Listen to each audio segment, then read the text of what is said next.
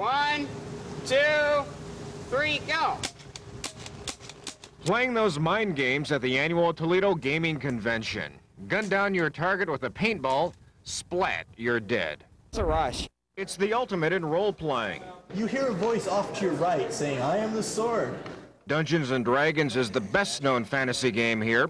Good guys versus bad guys in medieval times.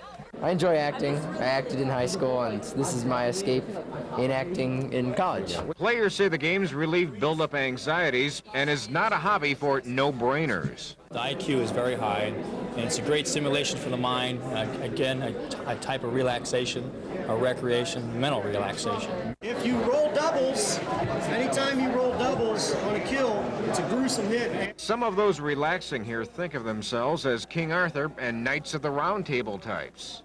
It involves a lot of the skills that I have. I'm an artist. I like, uh, I build all my own terrain, trees. I like painting the figures. And it's just an extension of that. From history to science fiction.